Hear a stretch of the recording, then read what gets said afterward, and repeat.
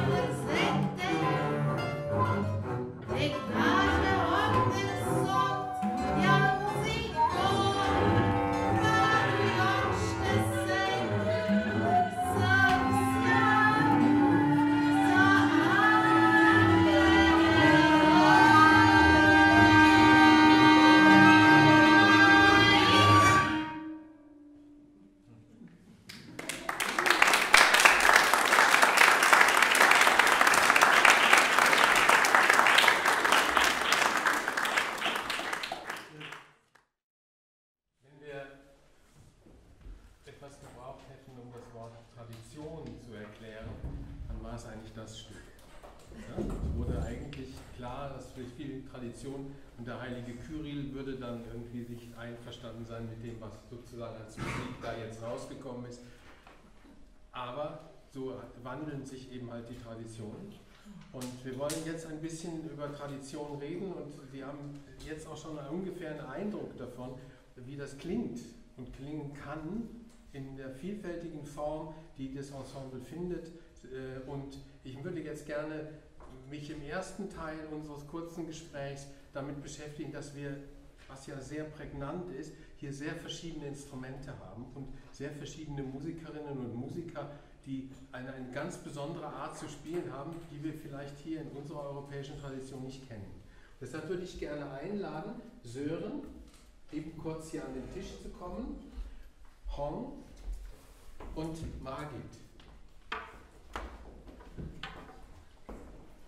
Wenn ihr euch so genau stellt, dass so euch sieht und mich muss man nicht sehen. Also ich stelle die Fragen und insofern ist das alles prima. Ich fange eben mal fängt ungefähr aber mit dir an. Sören, du hast ein ganz seltsames Instrument. Oder eigentlich gar nicht mal seltsam, sondern eins der uraltesten überhaupt. Ne? Welche meinst du denn? Das. Das. Eine Maultrommel. Eine freischwingende Durchschlagzunge ist das tonerzeugende Prinzip. Kennt vielleicht jeder, der in der Schule sich gelangweilt hat und das Lineal am Schulbank hin und her laufen ließ. Ja, es muss also schon mehrere tausend Jahre vorher jemand gelangweilt haben in der Schule. Und dann wurde dieses äh, tonerzeugende Prinzip in verschiedenen Formen verarbeitet.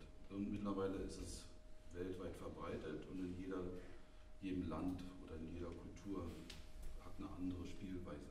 Das heißt, es gibt es in vielen Kulturen. In vielen Kulturen, ja. Okay. Also man kann wirklich, wenn man eine Karte zeigen würde, Afrika, Indien, Asien, ähm, das, dieses Instrument kommt zum Beispiel aus Jakutien und wird dort Hormus genannt. Und ähm, in Europa haben wir auch eine Tradition, in Österreich, stimmt's? In Tirol.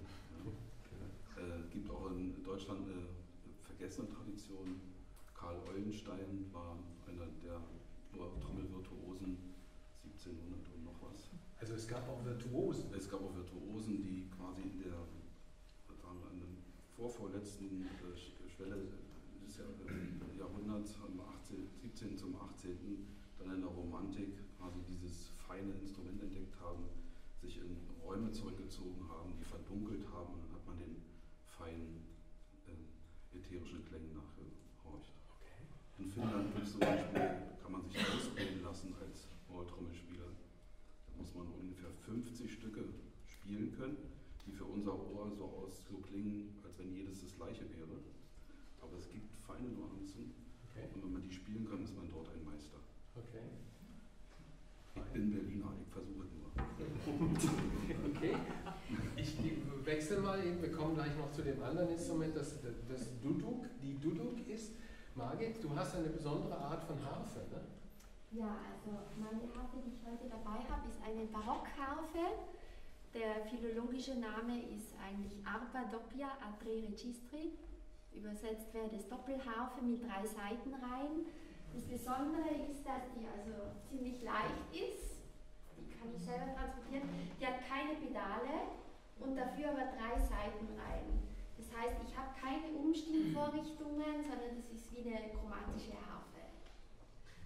Gibt es, das ist ein übliches Instrument im Barock, ne? Ja, genau, von Renaissance also bis äh, Hochbarock. Nach Händel ist dann das Instrument ausgestorben, leider. Aha, und es wird jetzt wieder äh, für die alte Musik neu entdeckt. So seit ungefähr 30 Jahren gibt es jetzt die ersten Generationen, die das wieder belebt haben. Und die Funktion, die in dieser Tradition, der, dieser, dieser wahrscheinlich italienischen oder was auch immer, französischen oder europäischen ja. äh, Tradition ist, was ist die Funktion dieser, dieser Harfe? diese Harfe oder wieso das eigentlich Sinn macht, dieses Instrument und wieso es dann auch ausgestorben ist, ist deswegen, weil man also sehr schnell zwischen verschiedenen Tonarten hin und her okay. wechseln kann.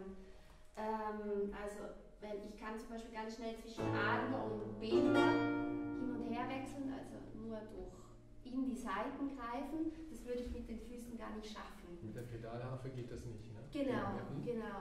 Und äh, das war also vor allen Dingen für die Tradition auch das Basso Continuo Spiel. Okay, genau. Das Und nach- genau. Händel hat sich das Repertoire verändert und so hat die Harfe, ist sie leider mit Staub überzogen worden. Okay. Hong, your instrument is a Korean instrument. You come from Korea, yeah? okay. Yes. And w- how, how is it called and what, what, uh, how is, this, is, this, is it sounding? Yeah. Uh, the name of this instrument is a teku. It's a uh, Korean bamboo. This is a, is a one piece of the bamboo. And uh, here is a blowing hole. And uh, we have we use uh, six finger holes. It's a very pentatonic instrument actually. And uh, last uh, is the extra hole is uh, for tuning. We don't use uh, at all for Mhm. playing. Okay. Uh-huh, okay. It cannot reach my finger. and uh, the uh, here here is an extra hole as well. This is covered by uh, membrane membrane is a skin of uh, yeah this plant. So uh, it's a very thin skin. So when I blow this instrument, also I use uh, this buzzing sound. well. For example, just pure bump sound is like, but with the membrane, then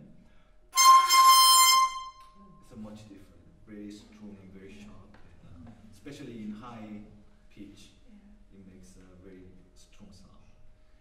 And just one, uh, one I would like to add. When I play this instrument, just I put this instru- instrument on my shoulder, and then I press the instrument by my lip. It means I really hold the instrument because uh, in the Korean traditional music, it says the movement is very very important. How you move the tones and uh, rather than uh, making an exact pitch. So we always.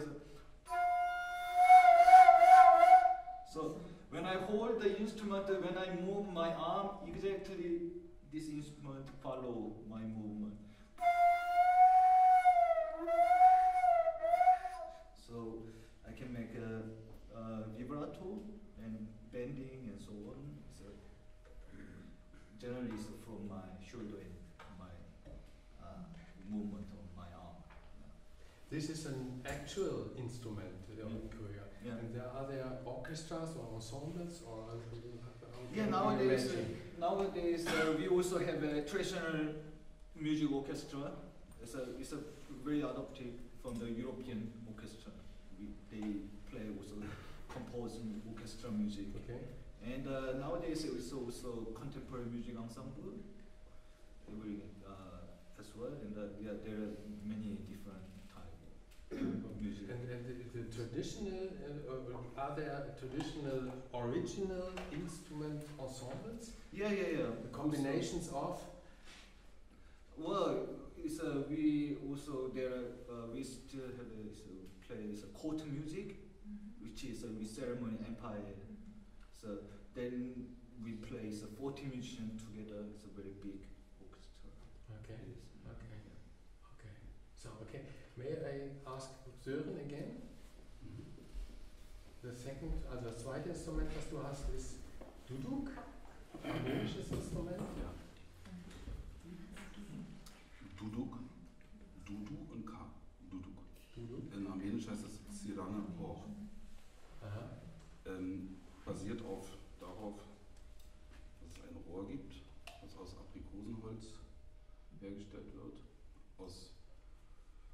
aus wild wachsenden, bitteren Aprikosenbäumen, die lange in, in sehr harten Witterungsschwankungen gewachsen sind, sehr langsam gewachsen sind. Dadurch gibt es ein hartes Holz und äh, niemand hat herausgefunden, warum dieser wa- warme, weiche Klang bisher rausgekommen ist. Alle Versuche, es mit anderen Materialien zu machen, funktioniert nicht. Also es muss an diesem Holz liegen oder aus der Kombination von beiden. Das ist ein Doppelrohrblatt, kennt man aus verschiedenen anderen Instrumenten, Oboe zum Beispiel Oboe, ja. Mhm. oder äh, Sackpfeifen, Dudelsack. Äh, Dieses Prinzip, dass man also ein Doppelrohrblatt auf ein Rohr steckt, ist sehr, sehr alt, vermutlich 4000 Jahre Mhm. alt. Ist wahrscheinlich aus Ägypten, kommt Persien groß geworden, jetzt in dem Raum auch noch verbreitet. In Türkei heißt es zum Beispiel Me, klingt anders. In Georgien heißt es Kuduki. In Aserbaidschan heißt es Balaban. Aber immer das gleiche Prinzip. In China heißt es Guanxi und in Japan weiß ich es gar nicht. Mhm. Und ähm, ja, Was ist denn ja, vielleicht gesehen Sie die Wand dabei Du hast drauf. richtig Blase. Genau, das ist sozusagen das ist nicht Druck, sondern eigentlich soll es sehr leicht gehen, aber diese sozusagen das Weichmachen und das Aufblähen des, der Wangen macht sozusagen diesen vollen runden Sound. Also wenn es druckvoll rüberkommt, dann bin ich noch nicht gut. Wie ist das eigentlich in der armenischen Tradition, aus der ich kam? Gab es da auch Improvisation?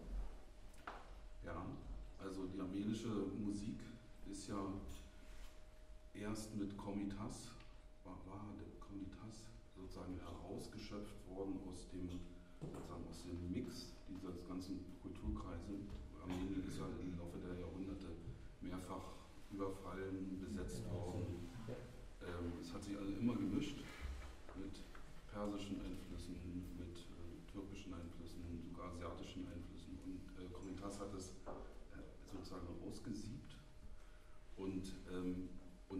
Vorziehen, glaube ich, hat quasi, ähm, muss ich mal kurz überlegen, also hat schon festes äh, Songmaterial, aber innerhalb des, des Songs wird improvisiert. Aber wo vor allen Dingen, ähm, also auch mit der Duduk improvisiert wird, ist in dieser Makam-Kultur. Mhm. Okay. Hong, I have this, the same question for you. Is, it, is with this instrument in Korea will, will be uh, improvised with? Uh, would be, Um, or is, is, the, is the, the instrument for improvising? Well, uh, not like uh, this. Uh, what what I played before. It's a very free improvisation, Okay. but even in traditional music, it's a very famous music. is also improvised. Actually, Mm. it's a, so yeah, yeah. We also improvise in a traditional music as well, but. Uh, Ah, okay. Yeah, of course, it's a, this kind of a free improvisation. Is a, still is a, not so many play. They don't didn't have a, not, experience. only in Berlin. uh, yeah, yeah. It is uh, yeah very important to play to have an experience with this. Wie Yeah. ist das auf deinem Instrument? Ähm, ja, also das ist eigentlich auch, Thank you. Improvisation äh, steht auf der Tagesordnung. Äh, vor allen Dingen, wenn ich jetzt Basso Continuo spiele, bei Solo ist es vielleicht wieder ein bisschen anders, aber Basso Continuo, wenn ich das ganz kurz nur erkläre, ich habe also die gegebene Basslinie, wenn ich Glück habe, steht eine Ziffer dabei, die mir Auskunft darüber gibt, was ich für einen Akkord drüber spiele, aber natürlich kann ich wählen, mit wie vielen Tönen, wie ich den spiele und vor allen Dingen auch, was ich dazwischen spiele. Mhm. Genau, wie Generalbassbezifferung. Genau. Okay, das heißt, wir haben jetzt also einen kleinen, mal einen kleinen Blitz einfach in verschiedenen Instrumenten. Es gibt noch so viele. Wir wollen aber eigentlich jetzt im Konzert fortfahren, im zweiten Teil. Und Dankeschön für euch, dass ihr hier wart und wir machen mit dem zweiten Teil.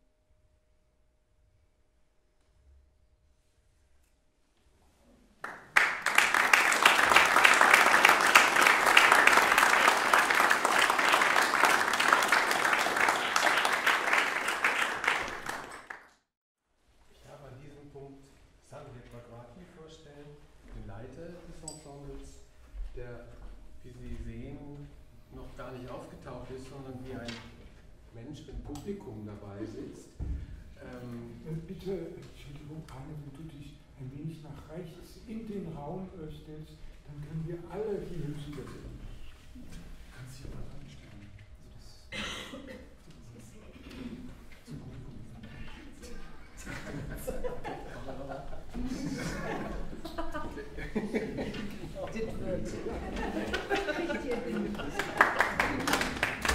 Dankeschön. Ähm, ich, also es ist ja seltsam, dass derjenige, der, sagen wir mal, für den musikalischen Ablauf verantwortlich ist, unter dem Stichwort zerlegen hier auf dem, an, an dem Tisch steht und darüber was sagen soll, weil normalerweise sind wir ja eigentlich gewöhnt, dass Musik zusammengesetzt wird ne? und jetzt wird sie zerlegt. Ähm, vielleicht ist es ein ganz guter Ansatzpunkt, diese beiden letzten Stücke. Vielleicht kannst du einen Satz dazu sagen. Die haben nämlich auch einen Titel und die haben, vielleicht merkt man dann auch, wie das Ganze irgendwie organisiert ist. Vielleicht kannst du das sagen. Ihr habt den Zettel, hast du gar nicht dabei. Ne? Aber runden. Genau. Weil dann werden Sie sehen, dass diese Musik ist improvisiert, aber sie hat auch noch so ein, ein Gitternetz von, von, von, von, von Organisationen dahinter, ähm, was, was außerordentlich anregend ist und gleichzeitig aber auch einen Halt gibt. Und vielleicht kannst du da kurz was zu erzählen, dann haben wir schon mal ein bisschen Einblick in die Werkstatt dieses Ensembles. Ja, also ich freue mich sehr, dass wir hier sein können und dass wir auch darüber sprechen können, was äh, wir machen. Ähm, das Ensemble Extrakte wurde 2013 von Elke Moltrich, die irgendwo hier sitzt, ich sehe sie aber gerade. Elke Moltrich und mir äh, ja, in, einem, in einem Gespräch gegründet und seitdem hat es ein großes Leben entfaltet und eine große Forschungstätigkeit. Die Forschungstätigkeit besteht vor allem darin, dass wir vor allem am Anfang in sehr langen Tropenphasen ohne Ziel, also ohne Konzertplan oder irgendwas, äh, versucht haben, diese verschiedenen Traditionen tatsächlich zu zerlegen und in neuen Kombinationen zusammenzusetzen. Ähm, es gibt Partituren für viele dieser Stücke, aber Sie sehen, die Musiker haben keine äh, Noten vor sich stehen. Diese Partituren sind also äh, eigentlich Erinnerungsstützen, ähm, sind äh, entstanden aus Arbeitsprozessen und dann festgehalten worden. Es gibt ein paar Ausnahmen, über die kann ich reden. Ähm, also zum Beispiel das Stück, was wir hier hören mit den vier Bassinstrumenten. Das haben wir Frickatology genannt, also Reibungsmusik. Und das entstand eigentlich ganz zufällig im Studio. Ähm, wir haben 2016 eine CD aufgenommen und ähm, da gab es eine Bitte von mir. Und zwar hatte ich lauter Gedichtzeilen, die mit Klängen zu tun haben, wie rausgeschrieben aus vielen Gedichten, auch aus eigenen. Du darfst weiterreden. Aber ich wollte einfach vorlesen draus. Kannst du jetzt sofort. Das haben wir nicht abgesprochen, Entschuldigung. Ähm, äh, es sind insgesamt ähm, 56 ähm, verschiedene Gedichtfragmente, das sind alle auf Englisch. O hark, O hear, how thin and clear Oder ein anderes. Two madhouse melodies fighting each other and shredding the world to pieces. Oder ein anderes. Wheels, confusing music, confusing doubts. Oder noch eins. Tracing your lips into the hastening frost. Das sind also alles sehr ähm, poetische Beschreibungen von Klängen oder von Klangzuständen. Und ich habe damals gebeten, die Musiker ähm, einfach diese Klangzustände, sich einen auszusuchen oder zwei und daraus eine Soloimprovisation zu entwickeln. Das haben sie gemacht im Studio, wir haben das aufgenommen und zwei dieser Soloimprovisationen passten so gut zusammen. Lutz, der mit mir damals im Studio saß, sitzt hier auch. Ähm, und zwar die von Sören und die von Klaus, dass wir die im Studio übereinander gelegt haben. Das ist also ein Stück, was überhaupt nicht im Probenprozess entstanden ist, sondern im Studio, im Tonstudio. Das passte gut, kam auf die CD, die da vorne liegt. Und ähm, dann hat es uns allen so gut gefallen, dass wir es dann einfach live nochmal nachgemacht haben. Das heißt, die Partitur des Stückes ist eine akustische Partitur entstanden aus der Improvisation. Und zwar einer mehrfachen Improvisation, sowohl einer Live-Improvisation wie einer Studio-Improvisation. Ähm, dieses, dieses Blatt zählt zum festen Bestand unserer Proben. Das heißt, es gibt immer mal wieder in jeder Probenphase einen Moment, wo wir sagen, könnt ihr mal wieder zwei Melodien, zwei Gedichte aussuchen, die euch jetzt im Moment ansprechen und daraus was zu entwickeln. Die Duos, die Sie gehört haben, sowohl im ersten Teil wie auch jetzt gerade zum Schluss, sind genau solche Dinge. Jeder von Ihnen, das ist die Karte für, dieses, für diese Duos, jeder hat sich zwei ähm, Gedichtzeilen ausgesucht. Die erste hat eine bestimmte Stimmung, die zweite hat eine bestimmte Stimmung. Und sollte dann ganz alleine erstmal eine, einen Übergang zwischen diesen beiden Stimmungen entwickeln, improvisieren sozusagen. Und sich das merken, was man da gemacht hat. Und dann habe ich sozusagen, ohne zu wissen genau, was die machen würden, einfach gesagt, ihr zwei fangt jetzt einfach an, jeder mit seiner Stimmung, die, die er oder sie sich ausgesucht hat, und mit der Aufgabe, zu der anderen Stimmung irgendwie zu kommen, aber dabei natürlich mit dem anderen zu spielen. Das ist zum Beispiel eine, eine dieser Aufgaben, in der, ähm, und das werde ich, glaube ich, morgen auch im Symposium nochmal äh, erläutern, in der eben eine Tradition sich zerlegt selber. Man, man hat zwar sein, alles, was man hat, mitbringt an Material, an Spieltechniken, an, an Klangvorstellungen.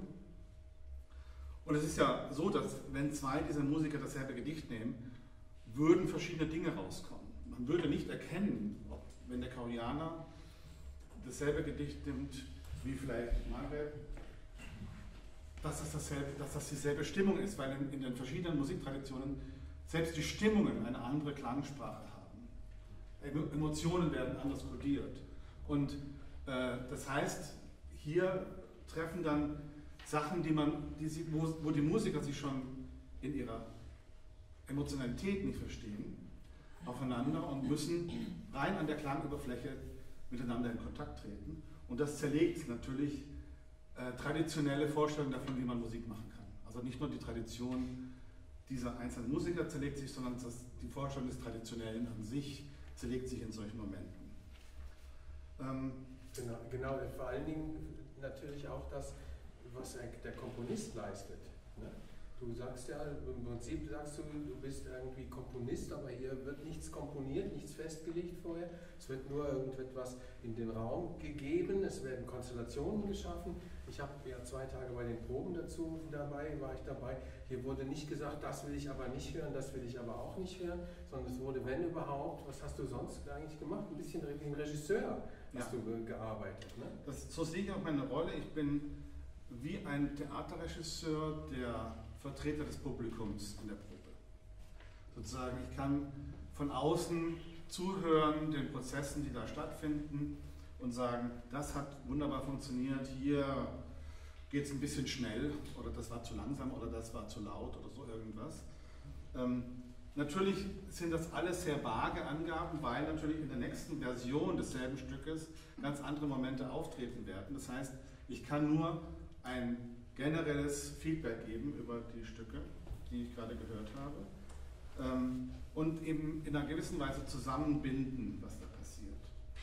Ähm, das ist ein Prozess, den wir da haben. Das, äh, das ist sozusagen die Erfahrung der, der, der, Musiker.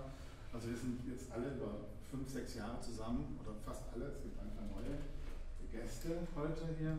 Jean und Margaret sind ähm, eben für dieses Konzert dabei. Und inzwischen kennen wir uns auch. Und ich weiß sozusagen in einer Situation, wo ich, ähm, ja, wo ich quasi das Gefühl hatte, hier muss ich was sagen. Und hier ist es einfach so, dass die Musiker selber das merken werden und ich muss eigentlich gar nichts sagen. Und deswegen werde ich immer stummer in den Proben, das habt ihr sicher auch schon gemerkt. Ich sage immer weniger.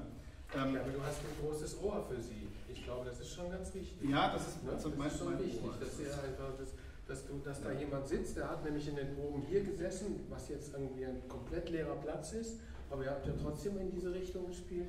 Aber das ist, das ist ja auch ein ganz, ganz wichtiger Punkt. Ne? Ja. ja, das ist, ich, ich kann das nicht so. Ähm, äh, also ich sehe meine Rolle eben wirklich als jemand, der, der ähm, Feedback geben kann und der tatsächlich zuhören kann.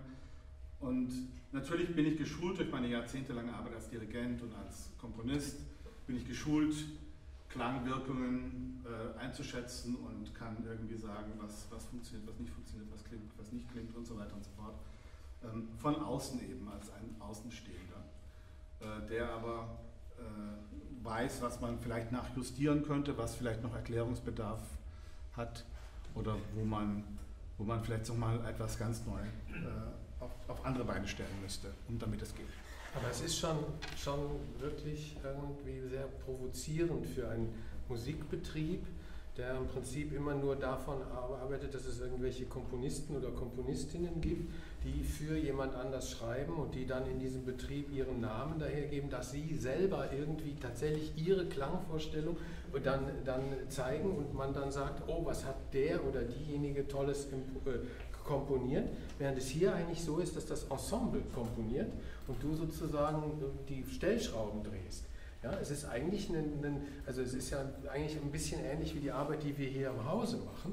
Also auch mit Ensembles, die, die im Prinzip ja jeden Abend irgendwelche neuen Stücke erfinden und die dieses Musikleben im Prinzip, wo man eigentlich denkt, das kann eigentlich nicht wahr sein, aber es sind jedes Mal Stücke, die funktionieren. Und hier bei den Proben habe ich das auch gesehen. Wir hätten jedes von den Probstücken auch in irgendeiner Weise als funktionierendes Stück bezeichnen können. Mhm. Und das ist schon, also ist doch, dahinter steckt doch hinter deiner, dieser Vorstellung, das dann als Extrakte zu bezeichnen und auch als große, große, als Ensemble, was auf die Dauer irgendwo immer wieder sich, sich präsentiert, steckt auch eine Vision. Ne? Ja, es ist eine, also Extrakte, ich kann das ja mal ganz kurz noch umreißen. Extrakte war aus dem Impuls gegründet oder aus einer Einsicht sozusagen, dass wir in, in einer gewissen Weise in so einer postexotistischen Zeit leben.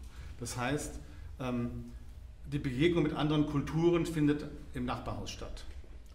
Es ist nicht so, dass man ein Sehnen hat nach weit hin und dann muss man das erfüllen und muss eine weite Reise. Äh, man kann letztlich an die nächste Tür klopfen. Es ist sehr wahrscheinlich, dass da jemand lebt, der aus einer anderen Kultur kommt, vor allem in großen Städten. Und natürlich gibt es auch diese Musiker. Ähm, eine der Bedingungen von Extrakte war, dass die Musiker in Berlin leben. Das hat sich durch Gäste und durch andere äh, Konstellationen ein bisschen aufgeweicht, weil wir auch andere Leute, die in Berlin vorbeikamen, in Konzerte mit reingenommen haben. Aber im Grunde ist schon die Idee, dass in einer einzigen Stadt wie Berlin ähm, die Musikkulturen der Welt eigentlich vorhanden sind. Eigentlich sind eigentlich da. Sie begegnen sich nur selten und sie ähm, arbeiten noch seltener auf Dauer zusammen. Oft sind es sogenannte One-Night-Stands, wo man dann äh, äh, sich verständigt auf, eine, auf, Grund, auf Basisparameter äh, und dann spielt man los und geht auseinander. Ad-Hoc-Spiel der Improvisation. Genau. Und das passiert natürlich sehr viel. Es gibt auch den kommerziellen World Music Zirkus, den will ich aber jetzt gar nicht weiter ausführen, ähm, wo das auch so ähnlich funktioniert, nur dass man es gleich aufnimmt und verkauft. Ähm, was wir versucht haben zu machen, ist zu fragen, was passiert eigentlich jenseits des One-Night-Stands? Was passiert, wenn man wirklich lange zusammenarbeitet? Und was, wie verändern sich da die, die Sichten jedes Einzelnen auf das, was man gemeinsam tut? Das ist sozusagen die Grundfrage. Ähm, und äh, es, ich finde es immer wieder beglückend, dass, obwohl wir mit sehr wenig Geld operieren und sehr wenig festen Strukturen und sehr wenig ähm, Regelmäßigkeit, wann immer ich äh, dann mal eine E-Mail losschicke und sage, wollen wir wieder mal ein Konzert machen, hier und da gibt es eine Möglichkeit, dass dann doch wieder mal so viele sagen, ja, ich komme und ich mache mit, weil das sind alles Leute, die natürlich ihr eigenes Leben haben und ihre eigenen Karrieren und ähm, sehr erfolgreich sind in dem, was sie normalerweise tun, die aber diese Arbeit mit Extrakt und diesen, diesen Sustained, diesen durchgehalten nachhaltigen Austausch anscheinend sehr schätzen. Du, hast, du benutzt für dieses, was ihr macht, nicht interkulturell als Begriff oder multikulturell, sondern transkulturell. Kannst du das vielleicht nochmal in einem Satz irgendwie ein bisschen erläutern? Ich benutze sogar gar nicht mal transkulturell, Nee, sondern trans traditionell. traditionell. Oh, ja. Ja, ja. Hm? Also das mit der Kultur habe ich es nicht so. Ähm, das ist irgendwie so ein, so ein Kampfbegriff, der mich nicht interessiert. Ähm, ich halte es mit der Tradition und das könnte man zum Beispiel an Sören jetzt ganz gut sehen. Sören verkörpert in diesem Ensemble eine Tradition, die nicht seine Kultur ist sozusagen und die nicht seine Ethnie äh, bedeutet. Und das verwechselt man oft in vielen transkulturellen Kontexten, wird Ethnie mit Tradition verwechselt. Das ist aber in der Musik überhaupt nicht so. Jeder kann eigentlich jede Musik lernen. Das ist Menschen gegeben, jede Musik zu lernen, wenn sie sich nur anstrengen. Das heißt, ähm, die, die Traditionen sind immer Wahlvorstellungen. Auch wenn jemand in einem Kulturkreis aufwächst, heißt es ja noch nicht, nur weil man Araber ist, dass man ein hervorragender Utspieler wird. Man muss das lernen. Man muss daran arbeiten und das muss man in jeder Tradition. Und insofern interessiert mich das Transtraditionelle als die Wahlheimaten der Musiker, die sie sich gewählt haben und über die wir dann hinausschreiten. Also es ist sozusagen ein, ein, eine, eine, eine Wahl, die jemand getroffen hat in seinem Leben, etwas zu lernen und dann, wenn sie oder er es kann, besteht die Möglichkeit, es wieder zu verlassen in eine neue Richtung. Und diese neue Richtung kann jetzt eben sich hier im Ensemble Extrakte äh, auf diese Weise äußern, äußert sich bei vielen Musikern auf ganz verschiedene Weise. Aber hier ist es eben so, dass jeder diesen Versuch auch macht.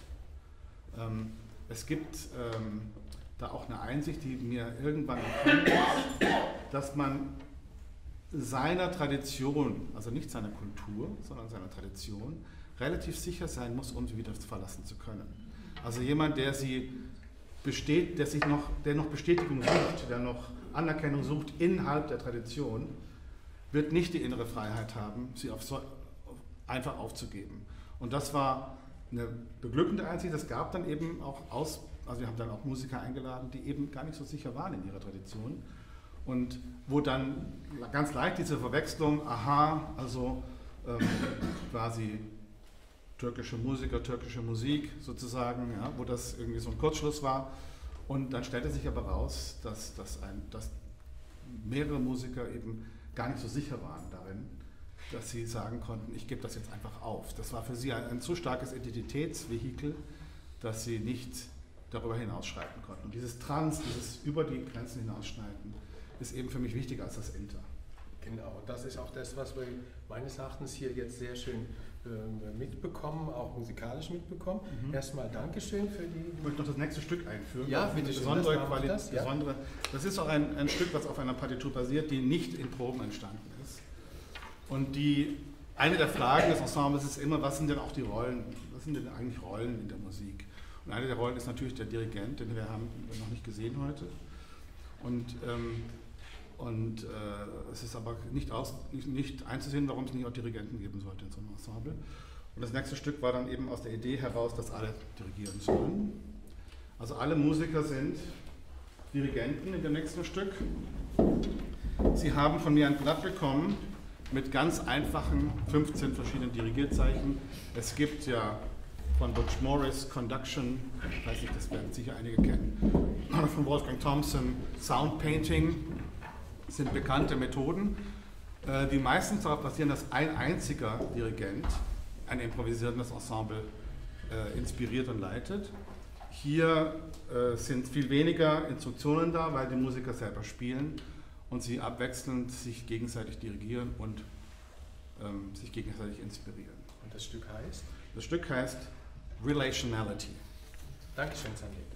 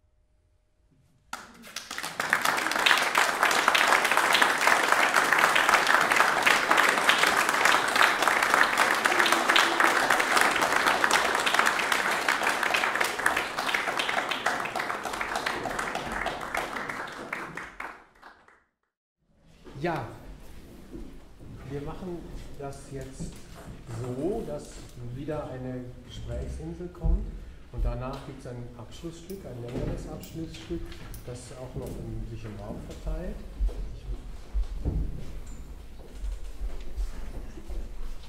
Und ähm, wir sind jetzt bei dem, nachdem wir uns über das Zerlegen ges- gesprochen haben, sind wir jetzt bei dem Zusammensetzen. Und jetzt gerade im letzten Stück wurde es ja nun komplett klar, komplett klar, dass hier zusammengesetzt wird von Musikern und Musikerinnen, die live auf der Bühne im Moment Dinge erfinden und auf Dinge reagieren. Also etwas, was eigentlich dann wiederum fast nur 10% Konzept hat, aber 90% Erfindung im Moment ist. Und es wird auch deutlich, oder Sie haben das sicher alle gehört, wie das irgendwie versucht, sich irgendwie zusammenzubringen, alles.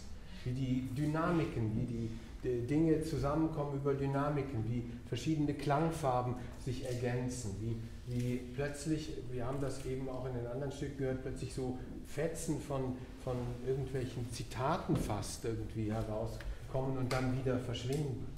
Ja? Und ich möchte jetzt in einer, wie soll man das nennen, offenen Talkrunde versuchen mal einfach mit euch nochmal über dieses Zusammensetzen zu sprechen. Und zwar würde ich gerne als erstes einladen Denisa und ähm, ich würde gerne einladen ähm, Ravi. Und ich würde das gerne so machen, ich, vielleicht ist der Begriff schon bekannt, die sogenannte Fishbowl. Das heißt, ihr kommt jetzt hier hin und wenn ihr nichts mehr zu sagen habt in der Fishbowl, dann kommt jemand anders. Ja? Wenn ihr einfach eben hierher. Kommst du wieder auf die Seite rein? Das, ich mach das. Ich mach das. Dein Rücken ist zwar wunderbar, aber. Denisa. Denisa.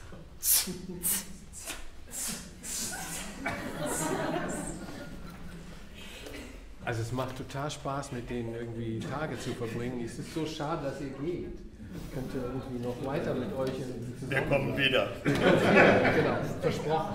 Okay, alles klar. Ähm, ja, kann, kann, könnt ihr irgendwas dazu sagen? Wie machst du das? Wie machst du das, dass du, ähm, wir haben ja eben gelernt, dass es Traditionen gibt, die du ähm, in dir hast und, und, und spielen willst. Wie kommt es zusammen mit einer freien Improvisation? Ich äh, suche mir relativ bewusst die Stücke aus, mit denen ich spielen will, mit denen ich Okay. ähm, improvisieren will. Äh, die Wege, wie, sie, wie ich sie aussuche, sind äh, meistens über das Thema, mit dem ich mich unter, auseinandersetze, also das Stück über die bulgarische Glossolalie, das ist aus der Auseinandersetzung mit der Zunge äh, entstanden. Wir haben ein ganzes Konzert über die Zunge gemacht in den verschiedenen Traditionen. Und, ähm, und das, war, das war das, was mir in Bulgarien begegnet ist zum Thema Zunge. Und ähm, ja, und das, daraus entsteht ein Pool an Material, mit dem ich mich auseinandersetze und aus dem ich dann auswählen kann. Während des Moments des Spielens. Ähm, ja, vieles entsteht im Moment des Spielens. Ähm, natürlich gibt es immer Sachen, die man, die man verüben kann. Also spezielle Verzierungen, die äh, Technik des Singens natürlich, wenn, wenn ich äh, die bulgarische Stimme benutze oder wenn ich die, ähm, die Kirchenstimme benutze oder was habe ich noch, so die Opernstimme, mehrere Ichs, die, Mhm. dann, die dann mal zu Wort kommen dürfen. Das ist, ähm, das ist sowohl geübt als auch, als auch äh, improvisiert im Moment dann. Und wir arbeiten ja auch sehr intensiv in den Proben zusammen, so dass wir uns irgendwie schon auch verstehen, so was, wer da jetzt gerade, äh, ja, wer da gerade jetzt redet, mit welcher Mhm. Stimme. Aber es gab einen sehr schönen Moment heute Nachmittag, wo du Jean total überrascht hast. Da habt ihr beide zusammen improvisiert und auf einmal hat Denitza losgelegt mit einem traditionellen Lied und er saß da und wusste überhaupt nicht, was er jetzt tun sollte damit. Und einfach, es herrschte einfach dann äh, ein paar Sekunden lang absolute Stille. Also das gibt es ja auch. Genau, das heißt, es gibt auch Material, was nicht sich wirklich sofort verbinden lässt, sondern es gibt Material, was so in sich geschlossen ist, dass man es auch lässt. Du hast eben auch irgendwann mal ein, am Ende einer Improvisation noch einmal ein Lied gesungen. War das das Lied? Das war das. Das war das, was war ne? das Das haben wir nämlich doch mitgekriegt, wollte ich doch sagen. Ne? Und dann hat Jean aber diesmal hat er was dazu gefunden. You understand? Not really. Also das ist das, was, was so viel Spaß macht. Man, sagen, man, man findet zueinander, man fängt an miteinander zu reden, man fängt an miteinander auch gleichzeitig zu sprechen und, äh, und das, ist, ähm, das ist jedes Mal irgendwie ein bisschen, bisschen mehr, man versteht sich ein bisschen mehr in der Tradition. Man lernt voneinander auch ganz viel. Ja. Für dich ist das aus der indischen, kann man sagen, aus der indischen Tradition. Ja? Und das heißt also auch aus einer sehr komplexen Welt von, von Rhythmen und, und, und, und äh, Tönen oder so. Ne? Ja. Das ist so. Ne? Und wie ist, das, wie ist das jetzt wiederum? Ist das eigentlich ein freies Spiel, was du machst, oder ist das ähm, Zum beruht größten das zum Teil. großen Teil? Zum größten Teil. Natürlich hat man immer seine, sein Regelwerk im Gepäck, ne, seine, ähm, wie man es gelernt hat. Aber so, was ich jetzt hier mache, da wurden die meisten ähm, klassischen Musiker, mit denen ich zu tun habe, oder meinen Lehrern, äh, solche Bewegungen machen. oder den Saal verlassen oder sich übergeben. Aber das ist auch gut so.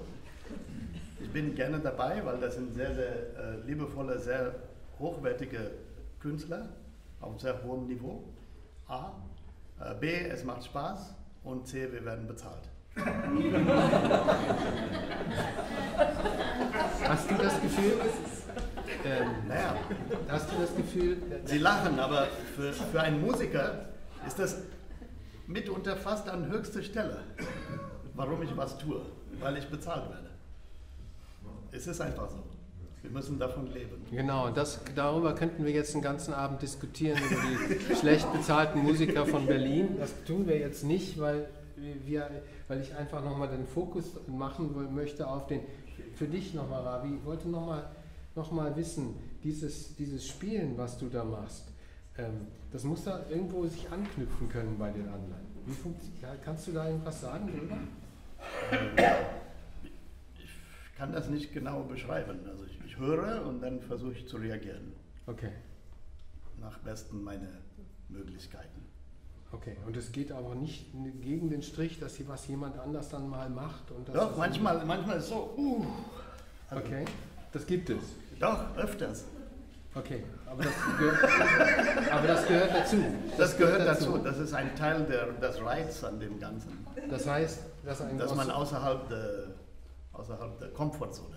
Okay, alles klar. Das heißt, du Frikatology, möglichst Reibung erzeugen. Genau. Sie Okay. fliegen jetzt mit Extractor Airlines ne, in Höhe von 10.000 Meter ohne Sitzgurt, manchmal ohne Pilot. Aber es funktioniert. Wunderbar. Klaus, wenn ich da mal dich noch mal d- dazu bitten darf. Ähm, du bist ja, wie würdest du eigentlich deine Tradition beschreiben, in der du arbeitest? Ich kenne dich ja schon und das ist ja eigentlich, was ist das eigentlich, was du da machst? Ich wusste ja schon, dass die Frage kommen wird. Ich bin schon vorbereitet. ähm, was ist meine Tradition? Äh, ich habe Instrument und Musik gelernt, ähm, weil ich irgendwie, glaube ich, einen Ersatz für die, für die Sprache gesucht habe. Und ich wollte eigentlich nie ähm, irgendwie ein, ein Stück so ähm, lernen, dass ich es dann irgendwie irgendjemand dann so bravourmäßig irgendwie vorspielen kann. Sonst ging eigentlich immer mehr um halt um zu sprechen mit der Musik, Mhm. mit, mit dem Instrument. Und ähm, ja, und das funktioniert hier in dem Ensemble natürlich super gut. Also es gibt, es gibt mitunter, es gibt ähm, Art und Weisen, wie man eben sprechen kann. Also das ist manchmal gesetzt. Manchmal gibt es eben auch Themen, die gesetzt sind und dann kann man eben mit Kollegen, die eben auch sehr gut sprechen können, sprechen. Das ist sehr schön. Wie sieht das eigentlich aus? Ähm, das ist ja einerseits eine Bereicherung, ne, was ihr macht. Aber es ist andererseits auch ein Verlust. Ne? Ihr müsst irgendwas nicht machen, was vielleicht irgendwie, vielleicht irgendwie euch besser gefallen würde oder irgendwas muss man vielleicht loslassen, kann man das so sagen? Das heißt, wenn du mit, mit einem absolut freien Ensemble auf deiner, auf deiner Ebene improvisierst, dann kannst du sagen, ich lasse mich da komplett rein, aber hier ist es was anderes. Ne? Naja, die Qualität ist, äh, wenn man sich jetzt irgendwie mit vielen Leuten zum Improvisieren trifft zum Beispiel, dann, ähm, dann hat das halt eben die Qualität, die, wenn man es dann oft gemacht hat, eben auch ähm, hat, dass es manchmal irgendwie einfach dynamische ähm, Dramaturgien gibt oder so, aber dass das eigentlich nicht so viele Überraschungsmomente sind. Manchmal hängt von Kollegen ab. Und, äh, und hier gibt es eben Überraschungsmomente, weil es eben Sachen sind, sind die gesetzt sind. Ne? Mhm. Genau. Und weil dann einfach äh, in einen normalen, in einen üblichen ähm, musikalischen Fortgang dann zum Beispiel irgendwas reingerätscht, was einen dann auch wieder fordert. Ja, genau. Ne? Das Ja. heißt, das sind so auch Überraschungsmomente. Genau, ganz genau. viele, genau. Ja. Okay. Darf ich noch eben Margit noch mal, äh, Margit noch mal eben fragen, ähm, die klassische Tradition, die, Ich komme ja aus dem Barock. du kommst aus dem Barock. Oh ja, das war jetzt ganz falsch. Ja, okay, also ich habe schon, also ich wollte nur sagen, die ist ja, die arbeitet ja auch mit sehr starker Präzision, mit keinem Fehler, mit keiner, mit immer einer ganz besonderen Klangfarbe und also mit diesen Dingen. Das ist ja hier etwas, wo du im Prinzip komplett deine eigenständige Musik machen kannst. Ne? Ja, also im Barock ist es wirklich ein bisschen anders, weil wir auch Improvisation haben, aber es stimmt, dass wir zum Beispiel immer gefragt werden, dass man im richtigen Stil improvisiert. genau. Wenn ich Monteverdi spiele, soll ich nicht klingen wie Händel und so weiter. Also insofern gibt es schon ein leichtes Korsett. Mhm. Und äh, ja, das ist die Herausforderung und der Challenge und das Schöne, das Riskierende hier, dass ich eigentlich von dem allem am besten gar nichts mache. Außer meinem Ornament. Ja, genau, das wollte ich nämlich Äh, fragen. Du das musst ist ja vielleicht irgendwas. das, was du vorher gemeint Ja, hast. Ja, genau. Also du musst ja irgendwas machen. Ich meine, Ja, war ja alle immer irgendwas machen. Und das ist ja irgendwie, sonst, sonst wäre das Ensemble irgendwie nur stumm. Ja? Sonst hätten wir hier eine Stunde Stille, ja? weil es doch nicht funktioniert. Aber hier funktioniert es doch tatsächlich. Also man, irgendwas Ja, muss weil man so, also ich bin ja jetzt, wie gesagt, erst das Ja, eben, zweite das- Mal ja, dabei mhm. und äh, das sind so viele herrliche Musiker, die, das ist so wie eine Wanne, wo man aufgefangen wird und wenn man mal äh, nichts zu sagen hat, habe ich auch gelernt, soll man am besten still sein. Ja, okay. Nee, also es ist eine wunderbare Herausforderung und man kann eigentlich, glaube ich, oder was das Verbindende zwischen den verschiedenen ähm, Improvisationskulturen ist, ist wohl der Mut, äh, dass man sich auf was Neues auch einlässt. Genau, das Neue ist das, was du Die sozusagen- Neugier, Die ne? Neugier, Neugier. Und das Neue ist auch etwas, was sozusagen beim Spielen dann passiert. Ne? Das heißt, du Ja. machst Dinge, die möglicherweise du irgendwie vielleicht sogar nie geübt hast. Ne? Oder die Genau. irgendwie einfach passieren oder so. Alles, was so sonst nicht passieren darf, dann kann das hier, das kann hier so passieren.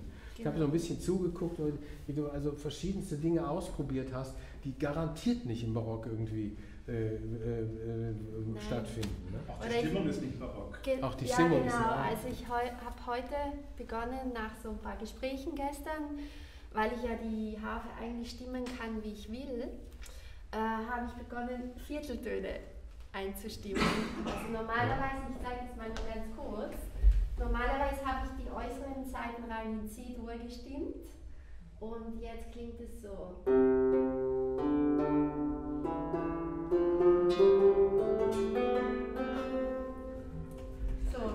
ich vorher nie gemacht. Genau, das ist dann, das ist dann auch was, was hat Ravi eben gemacht, wo der Lehrer dann so macht. Ne? Genau. genau, also das heißt, also das ist diese, und das Interessante ist ja, dass diese, dass diese Dinge, die ihr alle aus, aus euren, ähm, also sagen wir mal so, für mich als jemand, der freie Improvisation macht und sehr, sehr lange das schon mal, ist es erstmal keine Überraschung. Aber hier ist die, das, das Neue, was hier passiert, ist, dass ihr aus einem ganz anderen Fundus schöpft und dass das irgendwie zusammenkommt. Und das finde ich total, total spannend. Ich habe noch eine, Ja, bitteschön. eine, eine Wortmeldung dazu.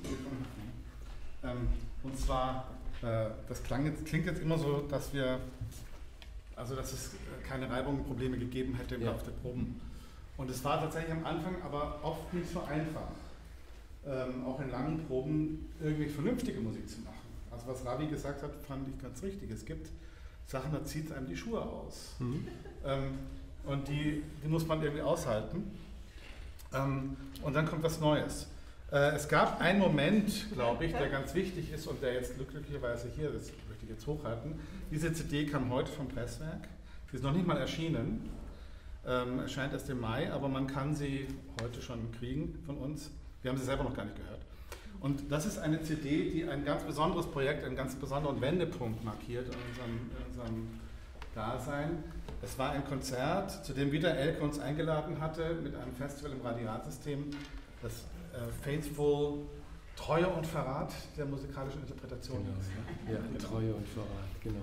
Und ähm, zu diesem Festival äh, wollte ich gerne mit den äh, Gebrüdern Teichmann zusammenarbeiten. Klaus hatte schon immer vorgeschlagen, dass wir mal mit Loops arbeiten, weil Loops sind Elemente, die in vielen Kulturen vorkommen. Gebrüder Teichmann sind wer? Gebrüder Teichmann sind zwei elektronische Musiker, die auch äh, einen Großteil ihrer Karriere als äh, DJs, Clubmusiker verbracht haben. Und äh, wir haben letztlich Interpretationen der 90er Jahre in Berlin, des, des Techno der 90er Jahre in Berlin versucht. Das war eine Strategie, die man, es gibt ja so schöne chinesische Strategiebücher, wo dann immer irgendwelche poetischen Namen für, für Strategien erfunden wurden. Diese Strategie würde heißen, den gemeinsamen Feind lieben lernen. Und zwar hat sich sehr früh herausgestellt, dass natürlich ähm, diese Musiker alle von weit her und von verschiedenen Kulturen kommen, aber dass eins sie relativ geeint hat, nämlich dass sie diese, die, die, die Musik des Techno, diese, diese Gnadenlosigkeit im Rhythmus, alle nicht mochten. Also so, so von Anfang zu Anfang. Und dann hat Klaus, der sich damit aber schon mehr auskannte, erstmal überhaupt eine Einführung, das war dann ein ganzer Tag, glaube ich, in dem du einfach uns mal Sachen vorgespielt hast und erzählt hast, warum das so ist, wie es ist. Und dann kamen die Gebrüder Teichmann und ich weiß noch genau, da gab es so einen Moment, äh, es, da war natürlich dann auch immer, gibt es so Musikerstreitigkeiten, da gab es sozusagen die, die, die legen ja nur Platten auf, das, das müssen Musiker sein, ja. Ähm, und wo dann, ich glaube, Hannes oder Andi meinte dann, ähm, also wenn du da nach D-Dur modulierst, dann können wir doch da einsteigen. Und dann zuckte einer der Musiker, was? Der hat gehört, dass wir nach D-Dur modulieren? Okay, also dann. das ist also doch Musiker. Doch Musiker, doch genau. Musiker. Also, und dieses, äh, diese, äh, diese Strategie sozusagen, ähm, sich mit etwas zu beschäftigen, was weit außerhalb der Komfortzone, wie Ravi es gesagt hat, lag und sich damit so lange zu beschäftigen, bis es innerhalb der Komfortzone lag, ähm, ist eben äh, in diesem Projekt auch äh, exemplarisch durchgespielt worden. Und ähm, das wollte ich nur noch mal sagen. Es ist nicht, äh, es ist nicht ein Projekt, was eben auf Goodwill beruft, beruht und auf dem, dem Gutmenschentum, dass man sich immer so freundlich gesonnen ist, sondern es gab da sehr starke Reibungen, die in verschiedenen Situationen auch ab und zu zum Vorschein kamen. Es gab auch Musiker, die das Ensemble im Sturm verlassen haben und, nach, ja, und dann nach einiger Zeit wieder zurückkamen und sagten, nö, sie fanden es eigentlich doch sehr spannend. Und ähm, also es gab alle möglichen Varianten dessen, was man da so leben kann. Und ähm, ja, soll ich noch das letzte, das letzte, Stück ansagen? Ja, bitte jetzt erstmal. Aber ich möchte noch, noch, noch kurz zu, wer, ich würde das gerne so machen, dass wir jetzt, weil wir schon so lange geredet haben, das Stück vorführen und danach dann noch ein kurzes Gespräch mit dem Publikum machen wollen. Ich würde, bevor wir das letzte Stück, jemanden noch fragen, der gar nicht zu Wort gekommen ist. Heute. Bitte schön. Genau, genau. June. Could you say something about your instrument? I think there's, that there's a big question in many people's minds about your sound and about the instruments. this instrument's name is Haegu. It was Korean traditional instrument. And it has two strings, front and back. And I make a tune on just the violin and then press it the string.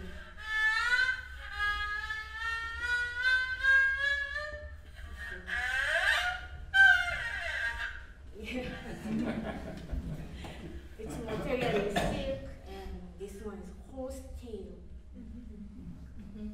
And the bow, and the bow is in the instrument. It's not separated from the instrument. Und man muss dazu ehrlich sagen, das sieht ja eigentlich alles ganz leicht aus, ist aber riesig schwer. Punkt. Also es ist wirklich eine Virtuosin dieses Instrumentes und das mu- muss man, möchte ich einfach noch dazu sagen. Ich habe vorher mich auch mit ihr unterhalten darüber. Und jetzt haben wir noch jemanden, genau. Wenn wir jetzt schon dabei sind, wollen wir alle.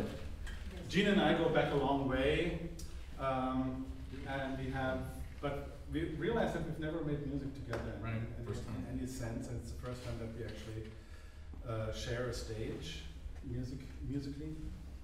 Um, do you want to say something about your trajectory or how you came to be on the stage? I mean, as a, as a bass clarinet player? Or- Yeah, what, whatever you. Um, If you like, come come here. Yeah.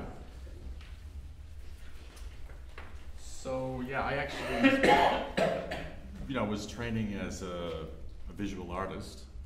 Um, this is like 30 years ago, Okay. and uh, in art school at the School of the Art Institute, I heard in a like a music appreciation class uh, recording of Anthony Braxton. And I was immediately captivated by this, and I ran out to the record store to find some of his music. And the record I found was uh, a duet with him playing with Derek Bailey, the Mm, British okay. And exact the right thing. yeah, well, I- actually, that, that was, in fact, that was too far out for me at the moment. because what, I, what I'd heard in this class was Braxton doing this sort of abstracted bebop kind of thing. Mm, yeah, so that was immediately like, okay, you know, I know what that is. Uh, and then the, the record with Derek Bailey was completely abstract, and you couldn't even tell that De- Derek Bailey was playing a guitar. You know, it was just Yeah, these yeah, sounds. yeah. So it took me uh, some time to sort of really get into that and understand what that was. But that was the beginning point for me. Mhm, mhm, mhm. And then I was improvising with different people, blah, blah, blah. And uh, of course, being in Chicago, I had the opportunity to hear all these absolutely fantastic musicians from the AACM. So I Mm, heard okay, okay. concerts by This the Art so- Ensemble and okay. Sun Ra and Braxton and Henry Threadgill and all these people. And they were all amazing. Okay. Yeah. And for you, it was the first time to, to play here No, I played here. with uh, with, with Exacte. Or No, Extracted, with- yes. yeah, yeah. Extracted No, I, first time. yeah, I, I, not not Exploratorium, but uh, but with Exacte. Yes, I ex- think. that's- right, yeah, that's right. Yeah. Okay. Yeah. And how, this is interesting because for you it was all new, yeah. Yeah, I mean, I grew up in a very rural area of uh, the United States, so there was no exposure to experimental music or anything like that. Yeah. You couldn't hear it on the radio, you had no access to it. Yeah. So that was a completely new thing for me when I first heard it. But I was very excited by it.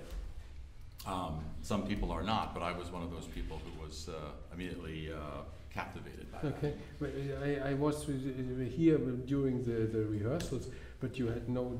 I, I thought you were immediately part of the the the, uh, the ensemble. Mm. Yeah, you have. And, was it uh, difficult for you, or is it uh, what, what, what? How how do you find the way to to to come together? Yeah. Well, uh, again, for me, uh, as a composer, I've been um, involved in writing music, combining instruments from different Ah, cultural okay. trajectories. So, um, and this really started for me at the, in 2001. I had a fellowship, went to Japan. Mhm. I was there about nine months, and I made uh, a lot of connections with both these great musicians from the experimental scene in Tokyo, Mhm. people like Otomo Yoshihide, Ah, yeah. Okay. um, but also then these uh, traditional musicians who were working with him and Mhm. recording his music. And Mhm. so I, I connected with those people and started composing music for them. Created a group called Ensemble NJP, which Mhm. has been running now for 15 years. Mhm. Um, and so that has given me a lot of time to sort of consider how these instruments can be mixed together in various ways. And for, for me, one of the most important things is actually is noise. Mhm. If you have noise in the so-called Western instrument and in the Asian instrument or the Middle Eastern instrument, this noise is a kind of middle ground where things can be connected. Okay. Yeah. Mhm. And you don't necessarily immediately recognize the sound of this instrument's tradition. Yeah. So, in a sense, its identity is changed. Yeah, Its identity is modified in a way that allows you to hear it differently. So, I'm always looking for this, always looking for this way to connect with the other instruments so that it's not immediately like, oh, yeah, that's the bass clarinet. that's this or that, you know, and they're separated. So, I like to say it's like food. You know, uh, if you have some sushi and then some mashed potatoes, you know, that could be a terrible combination. But if you go back and think about how those things could be combined by looking at their flavors, Yeah. then something else can come out. Thank you very much. Thank you. Thank you. Das war eigentlich die Art und Weise, wie tatsächlich wir uns möglicherweise irgendwann, auch wenn die Sprache verloren geht, verständigen können. Genau.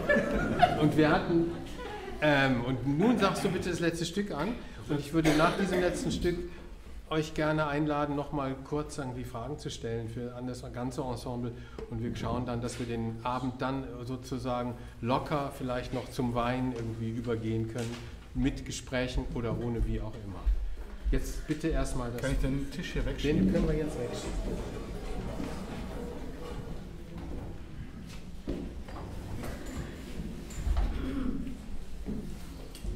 Ähm, das letzte Stück ist eigentlich äh, naturgebunden. Die Partitur, so sieht die nächste Seite aus, die nächste Seite aus. Und ich mische die jetzt einfach die ganze Zeit. Die ganzen Seiten.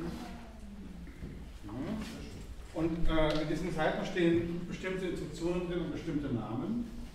Und die Musiker, die da als Namen genannt sind, spielen eben bestimmte Parts auf dieser Seite.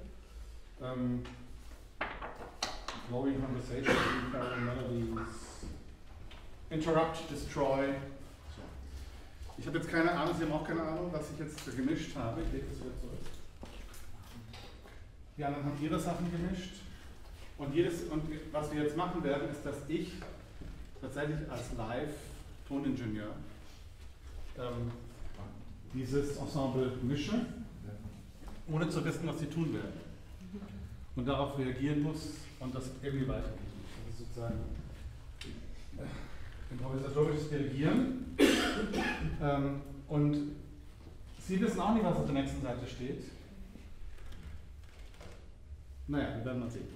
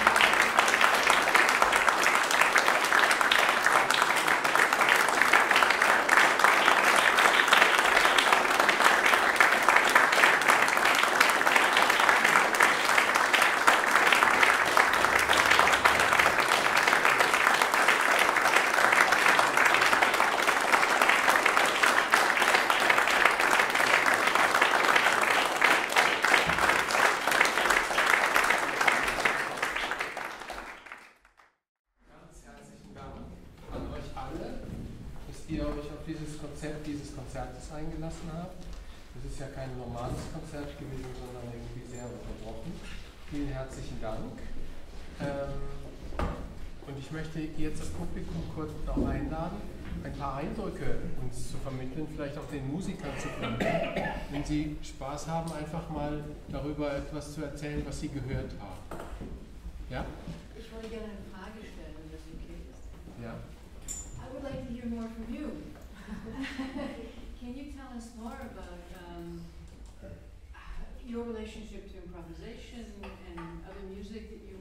Also play? And um, I would like to hear more from you. Um, when I make uh, music, I using two ways. One of Korean traditional way and then Western Western traditional Western notation. And then I listen to other musician sounds. I I acting the mix. And is improvis- is improvisation, what is your relationship to improvisation? Is this something you, you, this is a big part of what you do all the time? Or, yeah? Mm, I inspired something some Sandeep's idea and sometimes Margaret Harp sounds. Yes. I also play traditional music and contemporary Western music. Yes. Thank you very much. Noch irgendjemand? Versuchen wir vielleicht nochmal Eindrücke zu sammeln, was da eigentlich jetzt heute passiert ist.